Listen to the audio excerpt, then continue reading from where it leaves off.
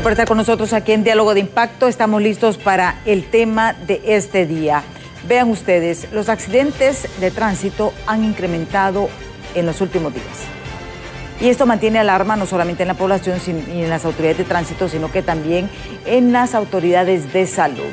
Porque ¿qué sucede? Después de un accidente, todos son trasladados al sistema público y las emergencias están abarrotadas de accidentados, especialmente jóvenes.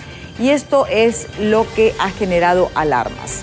Para que ustedes eh, tengan un contexto eh, de lo que está ocurriendo, pues justamente el Hospital Escuela eh, ha revelado que ha aumentado la cifra de accidentados que ingresan a ese centro asistencial.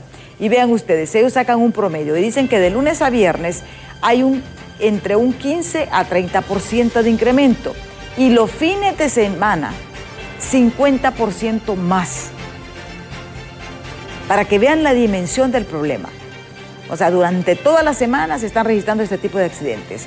Y revelan que jóvenes en motocicletas protagonizan aparatosos accidentes. Esto debido pues a diferentes causas, especialmente exceso de velocidad y ingesta de bebidas alcohólicas y el 90% de los ingresados al hospital escuela por accidentes viales son jóvenes. Jóvenes que muchas veces terminan con discapacidad porque pierden algunos miembros eh, de sus cuerpos o quedan con problemas de salud.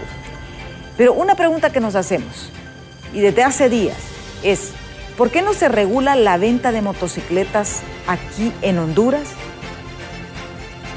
Este es un tema que las autoridades de tránsito han venido reclamando desde hace muchos años. Y como el Congreso solo toca los temas que les interesa, ¿cuál es el negocio que realmente hay detrás de esto? Se están vendiendo motocicletas a las personas que no tienen licencia y ese es el problema que hay. La mayor parte de los motociclistas que circulan en el país no tienen licencia de conducir. Y esta es una falla que tiene nuestro sistema. Veamos esta nota de nuestros compañeros de los noticieros Impacto. A las señales eh, de tránsito continúa siendo el principal detonante de los accidentes viales en el país. Ocho de cada diez siniestros se ve involucrado un motociclista y de estos motociclistas podemos decir que el 50%, si no más, no tienen sus papeles en regla. Pero es lo que nosotros decimos, comprar una motocicleta en este país es más fácil que sacar un préstamo en un banco. Hasta la fecha se reportó un estimado de 306 accidentes en motocicletas, es decir, que están ocurriendo a diario alrededor de seis siniestros viales en lo que va del 2024 en todo el país. Una motocicleta debe de hacer eh, fila igual, eh, fila consecutiva igual que un vehículo y así nos ahorraríamos tanto accidente eh, vehicular en eh, vehículos tipo motocicleta. De acuerdo a las estadísticas que nos brinda el sistema estadístico policial CEPOL, los conductores que más mueren son los conductores de motocicleta en un 40% y esta cifra pues varía a diario de acuerdo a las incidencias que hay en este tipo de casos. Las causas más comunes de los accidentes son por el exceso de velocidad y la imprudencia de rebasar por la derecha y están más expuestos a peligro ya que son menos estables y visibles que otros vehículos. Pero yo creo que eso se debe a la imprudencia con la que manejan los motociclistas. Yo sé que hay un reglamento donde dice que incluso ellos rebasan por el lado derecho, cosa que es prohibida y está establecida en la ley de tránsito. Y lo que pasa es que aquí no hay una regulación en ese aspecto. Hay muchos jóvenes que incluso andan sin licencia manejando motos. Entonces yo pienso que así como nosotros nos restringen para podernos dar una licencia, para poderme trabajar en el área de transporte y manejar personas, así deberían de hacer lo mismo con el área de las motos. Recuerde que hagamos los esperan la, familia en casa, pues, tanto a ellos como en carro y a uno en moto. Entonces, si supiéramos manejar, quizás fuera diferente. Durante el pasado 2023 se reportaron más de 1.820 muertes vinculadas a accidentes de tránsito y en lo que va del presente año se contabilizan alrededor de 100 fallecidos. El mal uso del casco y rebasar a los carriles, todo forma parte o es un aporte para que este tipo de escenarios siga incrementando. Con imágenes de Elvis Zambrano les informó Walter Pérez. Y este justamente es el problema que estamos viviendo a diario en todo Honduras, no solamente en la ciudad capital, porque ha incrementado el parque vehicular. Pero sin embargo, las normativas, el uso de la licencia, como que no se ha vuelto un requisito indispensable para la venta de motocicletas. Y esto genera todo este caos. Tenemos aquí invitado en estudio al subcomisario Darwin Hernández, pues él es encargado de la investigación de accidentes de tránsito. Esta unidad que realmente no sé cómo hace, cómo se multiplica, eh, porque es increíble. Eh, eh, muchísimas gracias por estar aquí con nosotros en Diálogo de Impacto, su comisario. ¿Por qué creen ustedes que se han incrementado los accidentes de tránsito aquí en el país en los últimos años, podemos decir? Porque cada año va incrementándose considerablemente. Sí, muy buenos días al pueblo hondureño. Gracias por la oportunidad de haberme invitado a este programa, así poder eh, informar a la población de esta problemática considerado una pandemia por la Organización Mundial de la Salud de 2011. Eh, no es solo es un problema de Honduras, va a ser un problema a nivel mundial, a nivel regional, que es mucho más eh, complicado, pues el incremento del parque vehicular, principalmente de la motocicleta, es una de las problemáticas que tenemos. Por ejemplo, déjeme decirle que de 2013 a la fecha, en, 10 años, el parque vehicular de la motocicleta ha incrementado en un 100%. Y esto viene a traer más motociclistas en, las calles, por, lo, por ende mucha más circulación de ellas y mucho más y respeto a las normas de circulación y aquí vienen los accidentes de tránsito que son bastante complicados y como le digo, nosotros como autoridades de vialidad y transporte pues hacemos todo lo que está a nuestro alcance para poder eh, dar este tipo de respuesta, poder eh, ser eh, muy eficaz al momento de, la investigación. Déjeme decirle que ya en lo que va de, de este año, en lo que va eh, tenemos lo que es los 18 departamentos de Honduras, solo dos departamentos, que es Francisco Morazán pues, y, Cortés, los únicos dos departamentos que tienen más vehículos de cuatro ruedas. Después todo el resto del país tiene más motocicletas y esto es lo que nos está dejando una gran cantidad de muertos por accidentes de tránsito. Esto es lo que nos está dejando una gran cantidad de lesionados. Usted sabe que muchos de muchos lesionados por accidentes de tránsito son vehículos eh, son usuarios vulnerables de la vía y que al momento de tener un accidente de tránsito, pues la única protección a veces es el casco y muchos de ellos ni siquiera lo, utilizan. Entonces tenemos que ser conscientes también nosotros como usuarios de la vía a utilizar el buen uso y buen manejo de, este tipo de, de, vehículos. Como le digo, el incremento, también no solo el motociclista, tenemos mucho problema también con el peatón, los dos usuarios que nos está dejando la mayor cantidad de muertos. O sea que son los motociclistas y los peatones, los, que, los que son eh, más incidentes en accidentes de tránsito actualmente en el país. Así es, eh, el 38% de las muertes por accidentes de tránsito es causado por una motocicleta, el 38 de las muertes, y el 29 de la muerte por accidentes de tránsito es peatón. Dos usuarios vulnerables. Usted como peatón, al momento de tener un accidente de tránsito, sus probabilidades de vida son bastante limitadas. Al momento de que, y una velocidad después de 30, 40 kilómetros por hora, usted, la probabilidad de de vivir, pues es bastante... No, y es que es increíble, miren, eso pareciera que fuera una película, pero es realidad y estos videos son del accidente que han ocurrido aquí en Honduras. Pero también tenemos otro problema y son los congestionamientos viales.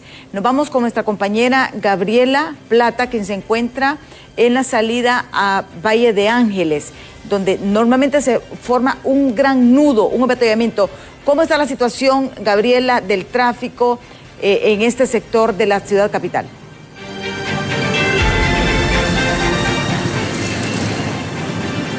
Muy buenos días, licenciada e invitados en el estudio central. Nos encontramos desde la salida de la carretera hacia Valle de Ángeles, donde a estas horas de la mañana podemos reportarle un tráfico vehicular que empieza a congestionarse específicamente en las horas picos. Ahorita podemos observar cómo en el carril derecho que dirige contiguo a Tegucigalpa se comienza a formar el embotellamiento. Sin embargo, el carril izquierdo que conduce hacia San Francisco, hacia Santa Lucía, hacia Valle de Ángeles se reporta bastante fluido. Les hacemos un llamado a cada una de las personas que verdaderamente transitan esta zona, que salgan a horas tempranas debido a que principalmente se forma un embotellamiento vial. Realmente las imágenes muestran cómo empieza a basar continuamente fluido, así que les hacemos esta invitación.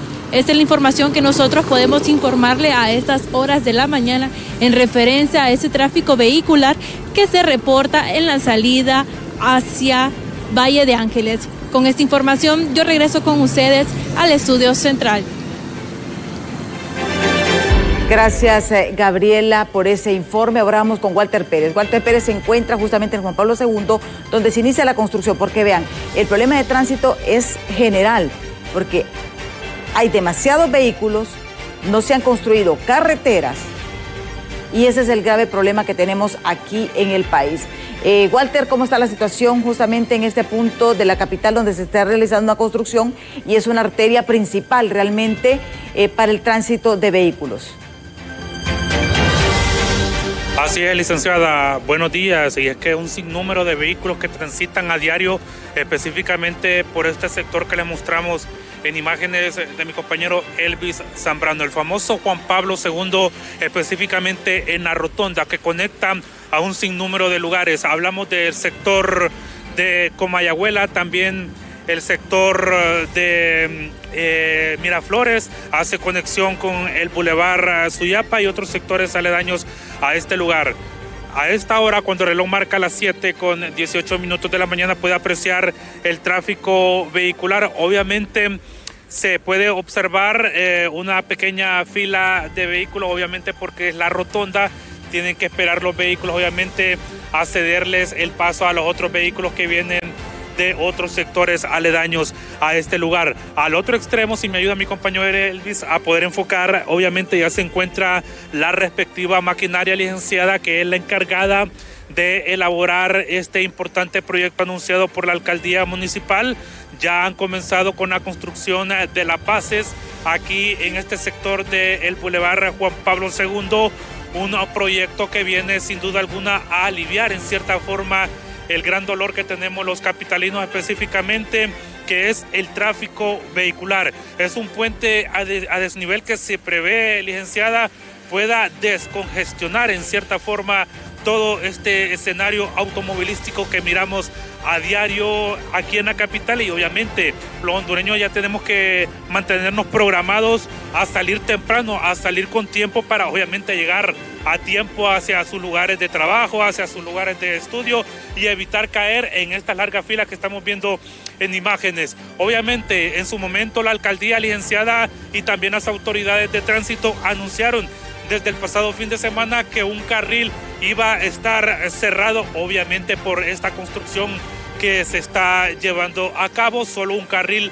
está habilitado, que es el que viene específicamente o que se conduce hacia el sector de Miraflores. Solo un carril es que está habilitado, así que a los televidentes que nos sintonizan a esta hora, pues buscar vías alternas o van a tener que salir más temprano para evitar el congestionamiento vehicular porque solo un carril está habilitado, ya el carril contrario que viene del sector de, Miraflores y se conduce hacia el sector de Comayagüela y zonas aledañas, pues el tráfico eh, pues es eh, normal, obviamente los dos carriles están habilitados de esta arteria, pero el otro tramo solo un carril está habilitado. Este es el escenario, licenciada, a esta hora de la mañana del tráfico vehicular. Obviamente los trabajos de construcción continúan, ya que se ha comenzado con esta importante obra a esta hora de la mañana, específicamente en el Boulevard Juan Pablo II. No sé si tiene consulta licenciada, sino con estas importantes imágenes del tráfico vehicular, retornamos con usted. No, gracias, muchísimas gracias a Walter y a Gabriela Plata porque es lo que ocurre. Y este es el escenario. Y el problema es cuando suceden accidentes de tránsito, porque estos son bloqueos normales, podemos decir, el tráfico. Y esto es lo que está generando a veces esos tráficos y esos embotellamientos. Y es aquí con nosotros Edgardo Barahona, que también es portavoz de la Policía Nacional, justamente para hablar de este tema, porque esto de los accidentes es de alta preocupación para ustedes en la Policía Nacional también.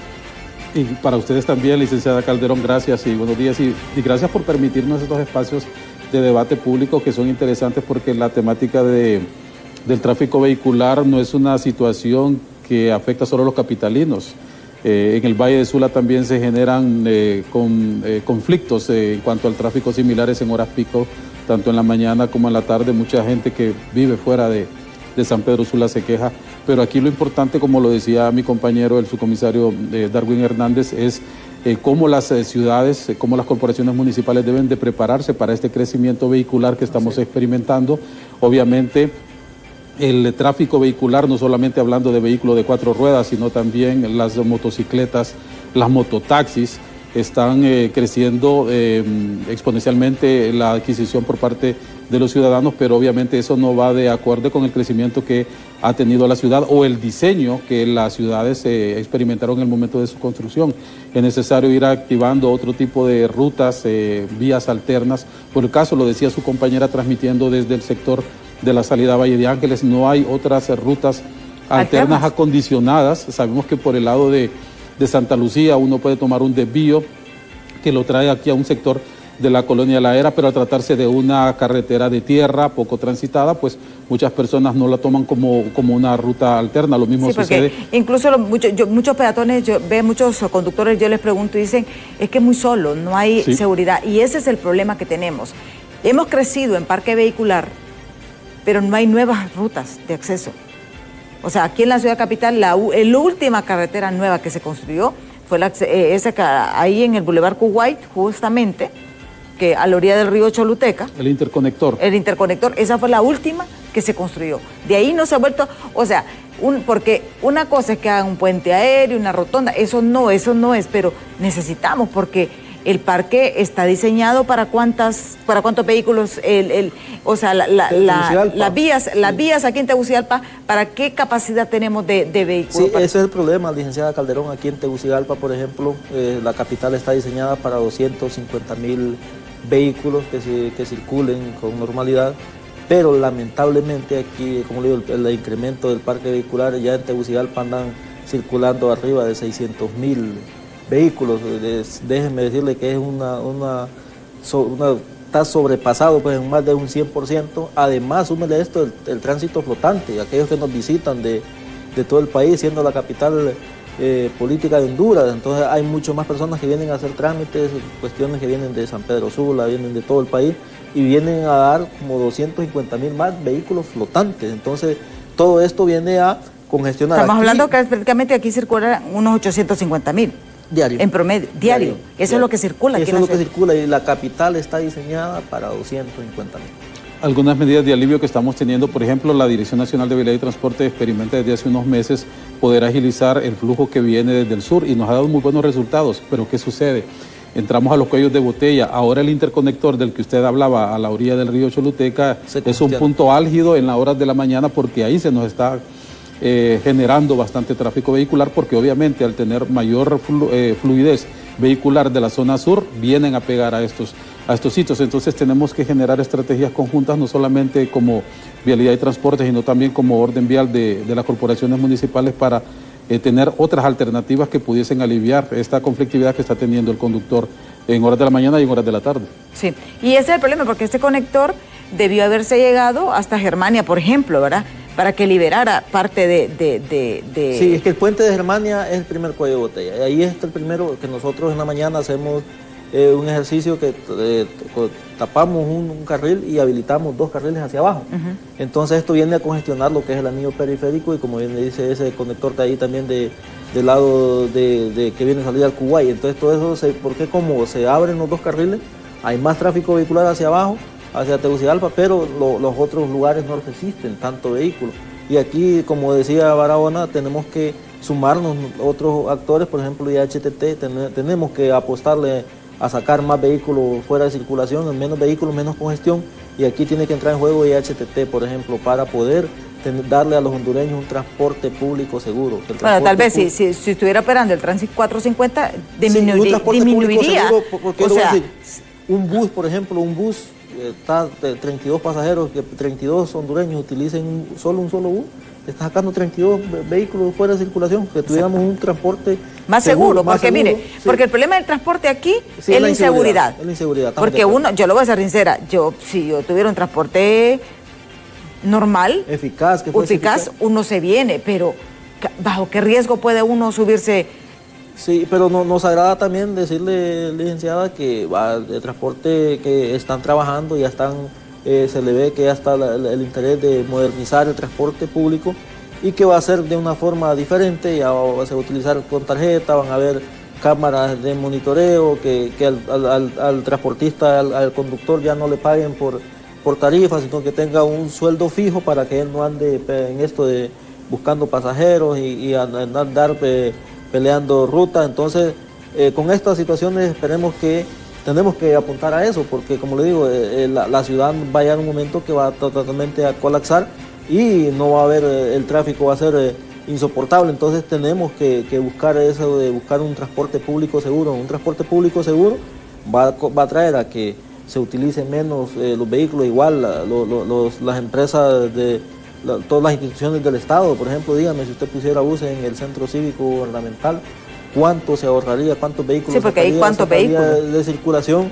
Igual las escuelas privadas. Pero ahí se cae, el, negocio del parqueo, ¿va? Sí, no le digo, mire, es que aquí las escuelas privadas, por ejemplo, si ah, usted, usted va a dejar sus hijos a la escuela y las escuelas privadas tuviesen un sistema de transporte también eh, seguro eh, y cómodo, porque eso es también otra de las problemáticas que hemos en las reuniones que hemos tenido, que el transporte público de la escuela no es cómodo, sino que a veces les sale más caro el transporte que quizás la misma mensualidad.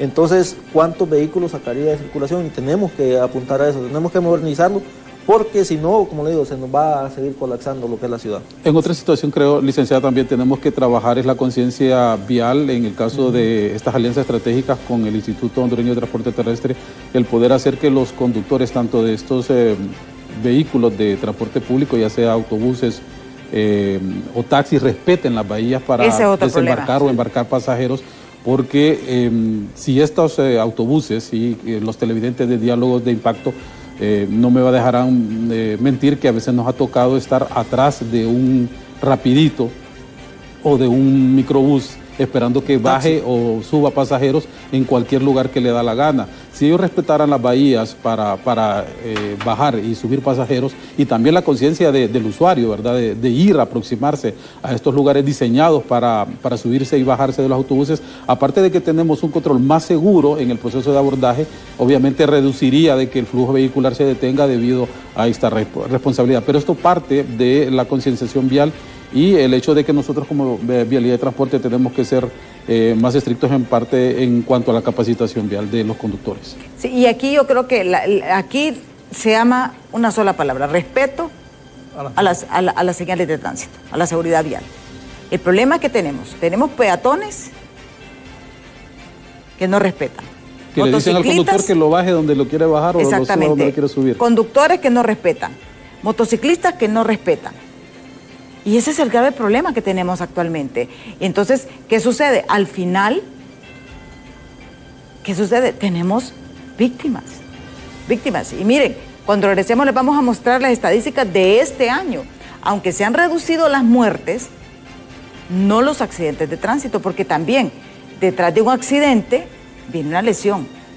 ¿Cuántos jóvenes han perdido las, sus piernas, sus manos en accidentes de motos?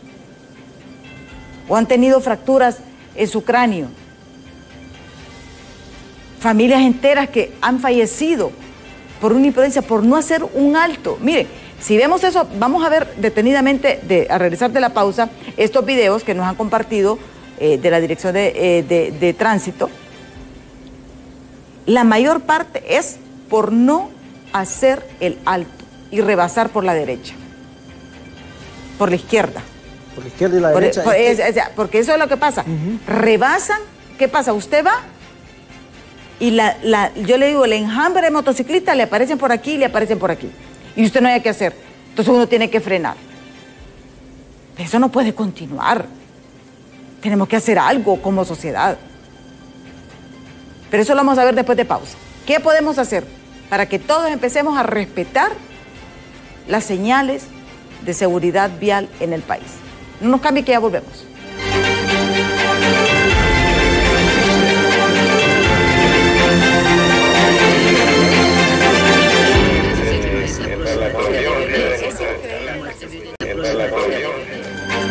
Bueno, continuamos aquí esta entrevista, pues tenemos a Edgardo Barahona y también a Darwin Hernández, ellos son de la Policía Nacional y sumamente preocupados por el incremento de los accidentes de tránsito. Lo que mirábamos nosotros eh, eh, justamente en los videos, yo les explicaba de que la mayor parte de estos accidentes es por no hacer el alto.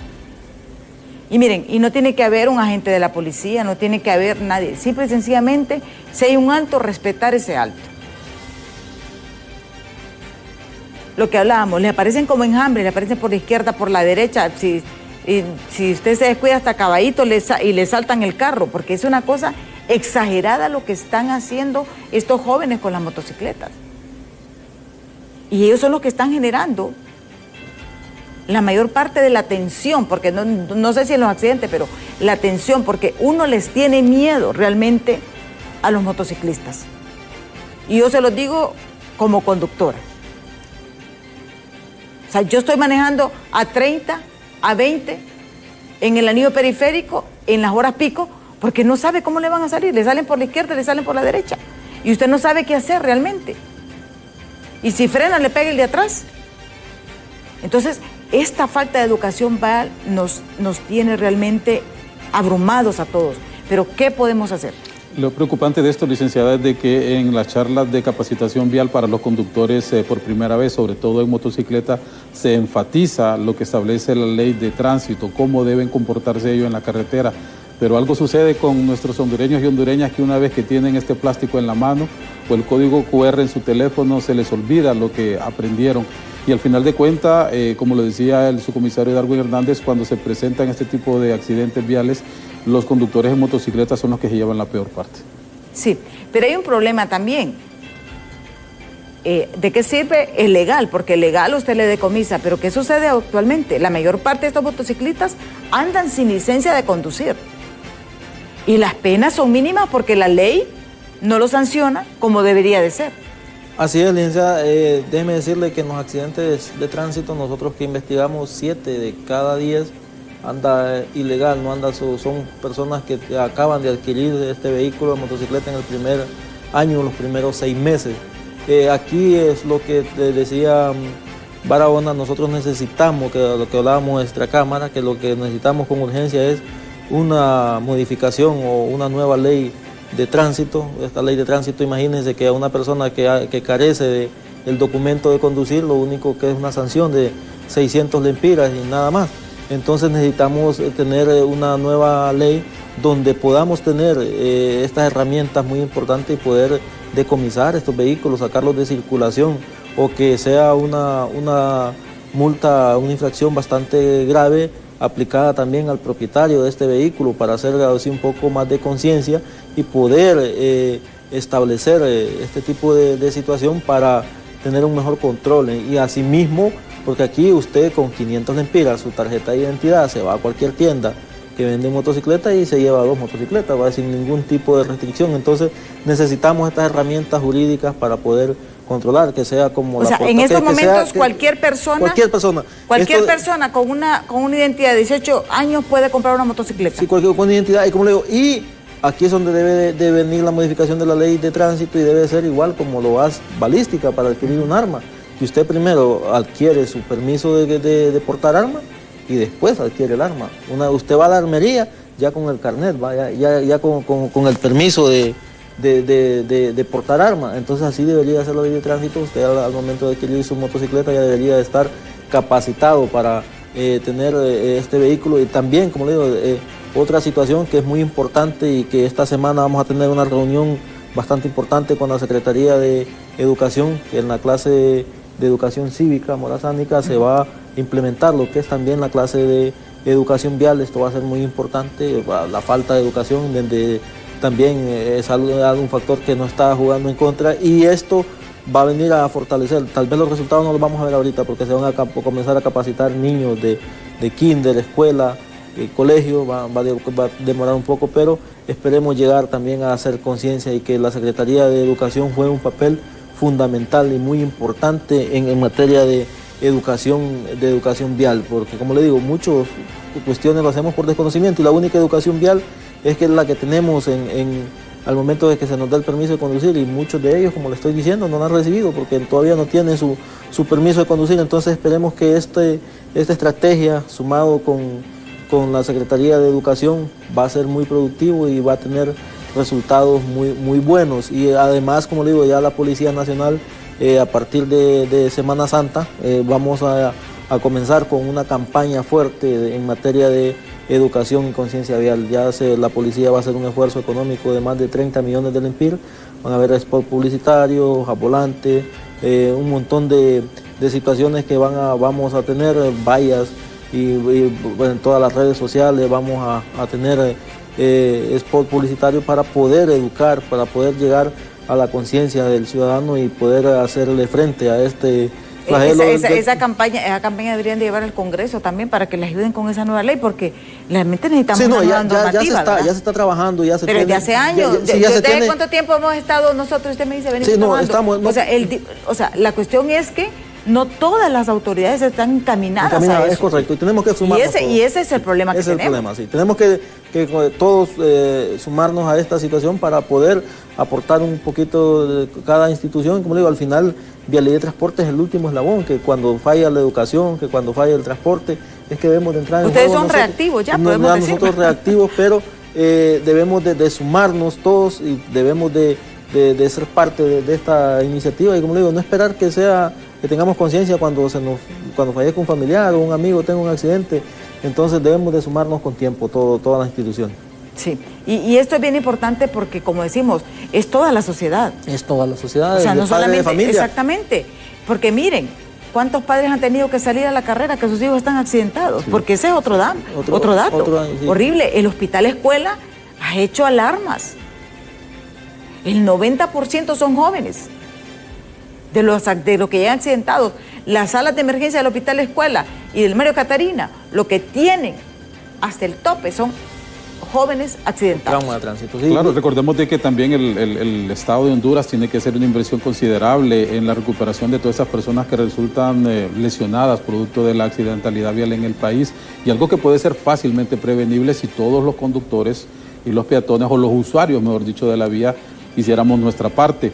Eh, y eh, en este caso, pues nosotros, como, como lo dice el subcomisario Hernández, estamos dejando de ser un poco más eh, reactivos en cuanto a no solamente investigar la accidentalidad, sino también pues proponer estas charlas de capacitación que antes lo hacíamos en centros educativos considerando de que ellos son los futuros usuarios de la carretera. También aquí nosotros podríamos contemplar el hecho de programar con aquellas grandes empresas que tienen eh, sus propios eh, servicios de transporte, el poder concienciar eh, mediante charlas de educación vial a los conductores, porque también el tráfico pesado es un generador de accidentalidad en las carreteras de nuestro país y el hecho de poder aprovechar los espacios como nos da BTV a través de diálogos de impacto en ir concienciando a la población hondureña sobre qué debemos hacer cuando tomamos un vehículo y cómo evitar ser parte de esta mm, Por ejemplo, estamos viendo ahí, en ese caso, va una motocicleta remolcando una bicicleta, Una y chocan bicicleta. con un carro. Sí, pero fíjese que en este accidente lo hemos analizado, este accidente se dio en Danlí, el de la motocicleta eh, Hizo- hizo- no tiene la culpa, que aquí el culpable es, es el responsable de este accidente es el del, del, del- Pero ¿sabe el que del también- vehículo que pues, usted ve se pasa el semáforo en rojo. Ah, ok. Entonces, como le digo, ha- hay cosas que, que no necesariamente va por esa maniobra es responsable, pero sí, eh, eh, tenemos ¿Sabe que... dónde, dónde he visto unos accidentes horribles en Santa Rosa de Copán en los últimos días? Ah, sí, sí. ¿Qué es lo que pasa en Santa Rosa de Copán? Mire, eh, una de las problemáticas, como digo, principalmente la motocicleta, también hay, hay- zonas rurales que donde... Abrieron, abrieron nuevas sucursales, las distribuidoras sí, de moto, y entonces también están... ahí son zonas rurales, se utiliza bastante el vehículo del pick-up. Ajá. Y el pick-up es un vehículo que viene diseñado para carga, no para transportar pasajeros. Entonces, al subirle pasajeros a la paila, eh, cuando sube 6, 5 pasajeros, al menos de tener un accidente de tránsito, no hay las medidas de seguridad. Y aquí no hemos tenido grandes accidentes de impacto, que en estos pick-up que han 4 o 5 personas fallecidas en el lado de, Copán por producto de eso, de que los vehículos pick-up están diseñados para carga, no para transporte de pasajeros. Y como estas son zonas rurales, eh, esto pa- pasó también el fin de semana que murieron dos hermanas en el sector de Comayagua. Igual, Es que por todo- ir, ir utilizando este, este tipo de, de, de vehículo eh, como, como transporte de pasajeros cuando definitivamente están diseñados para carga. Entonces, ah, eh, esto nos, trae, nos deja en desventaja y son, se, se vuelven también vulnerables lo- lo- los Sí. usuarios de estos vehículos. Vamos. Pero lo mismo, lo mismo nos está pasando con las motocicletas. Usted mira una familia completa abordando Ah, la correcto. motocicleta, van eh, el papá, la mamá, eh, van dos, tres hijos, eh, cuando el vehículo está diseñado para transportar una persona. Entonces son situaciones de conciencia también que deben de tener los usuarios de, de estos vehículos. Eh, por ejemplo, ese accidente que pasó, eh, el anterior, este, este accidente fue ayer, no, no es un accidente que fue hace días. Esta es la persona que falleció en la falla geológica que está ahí adelante de Uyuca, salida a Danlí, el anterior. Eh, eh, ¿Cómo es posible que una motocicleta, un motociclista en esta falla geológica vaya a tomar la determinación de hacer una maniobra de adelantamiento a una fila sucesiva. Entonces aquí el pick-up va por su preferencia y la motocicleta viene haciendo una maniobra de adelantamiento imprudente y terminamos, terminamos en, este, en esta circunstancia tan lamentable de una persona fallecida, un motociclista, producto de la imprudencia de un accidente de tránsito. Aquí también están las últimas estadísticas de tránsito. Eh, que nos facilitaron hasta el 25 de febrero. Si ustedes ven, por ejemplo, en el 2023 hubo 275 muertes hasta esa fecha, en el 2024 246, que hay una reducción. Lesionados hubo 624 en el 2023, en el 2024 589 pero el número de accidentes en el 2023 fue de 2.490, en este año son 2.601. Entonces, lo que le decía, se ha incrementado, es que miren, esas redes sociales aparecen una cosa que uno más bien cree que es en otro país. Y esas piruetas, esas piruetas, estos bárbaros hipotes, las hacen en medio del tráfico, en bulevares, cuando tienen poco margen, que cualquier piedita se... O sea, porque hacen esas piruetas, yo no sé en qué estado andan ustedes. Yo creo que una persona normal sabe que no tiene que hacer eso. Si esto es producto de la inmadurez, de la imprudencia, mucho, muchas personas, producto de la, inmadurez a este tipo de, situación, sabiendo pues, exponiendo ese riesgo, principalmente aquí en el Boulevard eh, Suyapa, aquí frente a la universidad. Ha visto usted que ahí los jueves, los domingos, nosotros es una lucha constante. Igual los, domingos en el sector de la pirámide, de la CA5, son lugares que ya tenemos identificados y que estamos poniendo nuestro, nuestro empeño y nuestra operatividad para poderlo, esto pues definitivamente lo decomisamos estos vehículos y pues les aplicamos la ley. Eh, también lo hacen aquí en el sector de los laureles, esos famosos piques ahí que tenemos eh, bastante problemática, es producto de la inmadurez. No, eh, sabemos que esto es un deporte y que, que hay mucha gente que que es apasionada de esta, pero deben de entender que se debe de hacer en un lugar que, sea seguro. Y aquí también donde deben entrar eh, otro tipo de instituciones a crearle este tipo de pistas, a crearle este tipo de, de crear, crear ese, este espacio, para que ellos vayan para que, ellos, a que se desahoguen. Entonces, como le digo, esto es algo que debe de ser conjunto, que debe de ser eh, y debe involucrarse todas las instituciones del Estado para, darle eh, respuesta a esta problemática. Sí, aquí tenemos esa estadística, dice las muertes de tránsito según los usuarios, ¿verdad? Conductores 50%, peatón 32%, pasajeros 12%, ciclistas 6%. Los conductores que más mueren son los de motocicleta en un 75%. Vea usted, si usted tiene motocicleta, tiene un hijo que tiene motocicleta, un sobrino, un pariente, mire, jale de las orejas, porque realmente hay que hacer conciencia y conciencia desde los padres. ¿verdad? También tenemos varios mensajes que nos han escrito al 3182-5600 que vamos a dar lectura porque ya casi se nos ha ido el programa, porque es importante también eh, sus opiniones. Dice, podría preguntar si están renovando licencias de conducir o pueden ser virtuales, nos dice este televidente. Sí, estamos renovando, estamos trabajando con normalidad. Eh, puede ir a las oficinas de, de Ley y Transporte, también lo puede hacer pues, en línea. Eh. Pueden hacer las dos opciones. Es correcto. Fíjese, licenciada, lo que pasa es que estamos experimentando nosotros que el joven eh, menor de 35 años, él perfectamente disfruta tener su código QR, su licencia digital en el teléfono. Ya las personas de nuestra edad, ya las que nos preocupamos más por tener el documento en plástico y andarnos en la cartera. Sí, entonces, ustedes tienen el modelo híbrido, podemos decir. Tienen las dos opciones de gusto del el que quiera. Igual hay personas que, por ejemplo, van a salir de, Honduras y obviamente les están exigiendo en los países a donde van a tener el documento en plástico, sí lo pueden ir a imprimir eh, sin ningún problema. Ok, Más, eh, vamos con otras eh, preguntas. Dice, buenos días, diálogo de impacto a los agentes de tránsito. Aprovechando que están en este espacio televisivo, tengo que decirles que se están quedando cortos con sancionar conductores ebrios, especialmente los fines de semana. ¿Por qué diablos no sancionen severamente a esos conductores ebrios? Deberían de decomisarles sus vehículos hasta los que andan moto, andan en estado de ebriedad. Pongan más atención. Por eso, a eso, por el amor de Dios, otra situación ¿Qué demonios da permiso a mototaxis que anden menores de edad conduciendo? ¿Es legal eso, señores agentes? Otra situación. Tienen que regular las motos, no dan, no dan permisos a diestra y siniestra a cualquier conductor y regular los negocios que venden este vehículo de dos ruedas y muchas falencias en la dirección de vialidad y tránsito, si no es por poco personal que hay actualmente o por la falta de presupuesto o logística.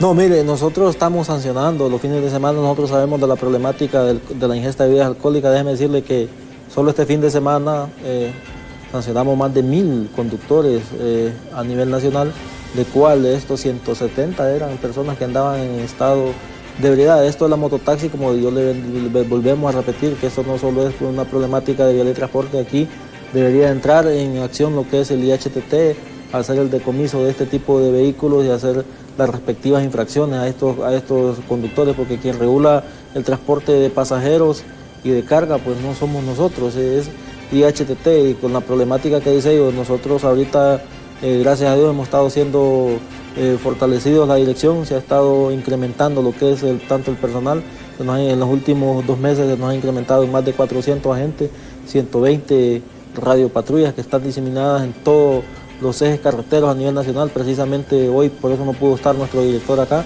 andan entregando las patrullas del corredor eh, agrícola en Olancho. Allá van, a, van a entregar más de 17 patrullas todo ese corredor para tener mayor control, para tener un, eh, mayor operatividad y mantener el control. Sabemos que en los ejes carreteros es donde está la mayor cantidad de, de muertes por accidentes de tránsito, entonces eh, la estrategia del señor ministro, el señor director de la policía, pues será esta, como le digo, se van a entregar más de 128 radiopatrullas que serán eh, asignadas a la policía de carretera que va a ser fortalecido. El televidente hablaba sobre las sanciones para conductores bajo los efectos del alcohol y yo creo que el hecho de pagar un salario, mínimo, casi 12 mil empiras, eh, la suspensión de seis meses para no poder conducir y si hay alguna reincidencia sube a un año o se le puede cancelar de por vida este permiso. Yo creo que son sanciones que perfectamente pueden servir como un disuasorio para que estos conductores eviten hacerlo, pero obviamente algo sucede que el hondureño, pues aún así, con este tipo de, de sanciones que se aplican, pues eh, continúa conduciendo sus vehículos bajo los efectos del alcohol. Y en el caso de las mototaxis también es lo que estábamos hablando, eh, esas eh, lagunas que tiene la ley al ser un vehículo no de cuatro ruedas, entonces no es un vehículo turismo, pero tampoco es una motocicleta porque tiene tres ruedas. Esta, estas definiciones van a entrar o deberían entrar en las nuevas modificaciones que tenga eh, la nueva ley de tránsito o el nuevo instrumento legal que se pueda construir eh, para mejorar la situación vial en Honduras. Sí, tenemos um, otro mensaje, dice, eh, buen día Lick, el 90% de los motociclistas son irresponsables. La mayoría anda sin licencia. Sí, ya lo habíamos hablado. Exactamente, y la gente está consciente de eso, pero también... Y aquí es donde, como le digo, deberíamos de la modificación, cuando usted sabe que lo que no está, la ley no lo permite, pues nosotros no lo podemos hacer, que haríamos un abuso de autoridad y aquí es donde debe de modificarse la ley de tránsito, que los conductores que anden con esto sin el permiso correspondiente de conducir, pues que sean sacadas de circulación, que sean decomisadas. Y eh, lamentablemente en nuestra ley pues solo establece una sanción de 600 lempiras. Y es algo que no hemos hablado todavía, la situación de los límites de velocidad, que nosotros estábamos aplicando restricciones de velocidad de 80 kilómetros en las carreteras abiertas del país, pero hubo un abogado que nos venció eh, se le aplicó una sanción, eh, buscó en la ley, se informó y nos llevó a la Corte Suprema de Justicia y se establece que en Honduras no hay ningún documento que diga que eh, 80 kilómetros. O sea que los velocímetros no los aplican por porque perdieron ustedes este caso. Claro, porque hasta que no haya, al menos lo tengo entendido así, su comisario Hernández, eh, no se defina eso ya en, en un estamento legal del país eh, los 80 kilómetros simplemente es una recomendación para que el conductor sepa que es la velocidad en la que él puede reaccionar oportunamente cuando se presente alguna situación eh, en la carretera. Eh, pero desde que se presentó esta situación, incluso hemos dejado de estar aplicando ciertos medidores de velocidad en carreteras como la CA5, que es la que presenta mayor conflictividad porque es la que tiene la mayor cantidad de vehículos en movimiento imagínense que fue, bueno, pero esto también, si hubiéramos, tuviéramos una ley vigente, no hubiéramos tenido este problema. Y esas son las cosas que ustedes. Vamos, tenemos más mensajes. Dice, aquí todo mundo hace lo que quiere porque no hay ley de tránsito. Solo en Honduras se mira que hay un accidente y hacen hasta tres filas ni las ambulancias pasan. Esos buceros no respetan a nadie y todo lo que hacen enfrente de ellos los policías pero con plata se arregla todo, estamos jodidos, dice este televidente. Y la gente se molesta y tiene razón, ¿verdad? Buenos días, Enma y sus panelistas. Estos son excusas de estos policías. Creo que deben de aplicar la ley como corresponde. Yo he visto cómo reciben mordidas, entonces aplica la ley, aplica la ley, apliquen la ley. dice este otro televidente. Y eso son situaciones también que se dan que no están exentas, pero también ustedes tienen mecanismo de control para la Así es, nosotros como le digo, como Policía Nacional, y aquí le pedimos al ciudadano que si usted veo, veo, tiene conocimiento de una persona que anda haciendo actos que son reñidos con la ley, pues que lo denuncie. Nosotros tenemos nuestros mecanismos por parte de la, Policía Nacional de que se les hacen investigaciones a los policías y aquel que se le comprueba, pues se le es separado de la institución o se le sanciona. Entonces, como le digo, eh, nosotros aplicamos la ley y, ejemplo, como le digo, el fin de semana, más de 1.200 licencias decomisadas, 170 por heredad. Nosotros hacemos nuestra operatividad como corresponde, pero esto no solo es eh, una situación de echarle culpa a Vía de Transporte, sino que también qué está haciendo usted como familia, qué está haciendo usted como padre de familia que le compra una motocicleta a su hijo, un regalo de 15 años. Entonces eh, eh, debemos de, sumarlo, como le digo, que está haciendo educación, que está haciendo la Secretaría de Salud, que es donde va a dar el mayor impacto de, de, los accidentes de tránsito, el mayor impacto va a dar a la Secretaría de Salud, que es donde, donde se gasta la mayor cantidad de dinero en poder recuperar a, ciertas personas que resultan con lesiones de gravedad. Y para que eh, haya un corrupto debe haber alguien que lo corrompe. Si usted sabe que se pasó un semáforo en rojo, que anda bajo los efectos del alcohol, entonces eh, piensa que debe aceptarlo y no ofrecerle dinero a la gente de tránsito para e-, evadir esa responsabilidad que tenemos todos los conductores. Sí. Bueno, el tiempo se nos ha agotado. Solamente su mensaje final. Sí, muchísimas gracias, licenciada, por este tipo de programas que es muy importante para educar, para poder llegar a la conciencia de los conductores. Déjeme decirle que el fin de semana, viernes, sábado y domingo son los días que mayor cantidad de accidentes de tránsito se da producto de la ingesta de bebidas alcohólicas, que seamos responsables en ese aspecto, que si va a conducir, pues no ingiera bebidas alcohólicas, y si va a ingerir bebidas alcohólicas, pues busque un conductor designado para que evite caer en situaciones legales de un accidente de tránsito con una persona fallecida bajo, bajo efectos del alcohol, pues es complicado, ahí se, le complica la, la situación. Edgardo. La responsabilidad vial es una misión de todos los conductores, eh, los peatones, todos los usuarios de la vía, entonces todos debemos hacer nuestra parte. Sí, bueno, muchísimas gracias a Darwin Hernández y Edgardo Barahona de la Policía Nacional. Así que la, todos tenemos que tomar conciencia, es responsabilidad de todos. Así que si usted es padre de familia, por favor no le dé una motocicleta a su hijo si no tiene una licencia previo. Yo creo que eso es lo que debemos de empezar y también las empresas distribuidoras de, motocicletas tienen que asumir su responsabilidad social frente a la sociedad. No deben de vender motocicletas a las personas que no tengan licencia de conducir. Porque ellos están provocando esto. Siete de cada diez andan sin licencia de conducir en el país, que son una amenaza para todos. Y también que ojalá los diputados trabajen, trabajen y hagan una nueva ley de tránsito como corresponde, para que todos tengamos una normativa estándar y de acuerdo a la sociedad y a los tiempos en que estamos. Muchísimas gracias a nuestros invitados, a ustedes televidentes. Un millón de gracias por su sintonía. Yo los invito a que continúen con Hola Honduras. Ya está lista Catherine y Ani con toda la información del momento. Yo soy Dios les espero mañana en punto de las 7 de la mañana aquí en Diálogo de Impacto. Hasta mañana.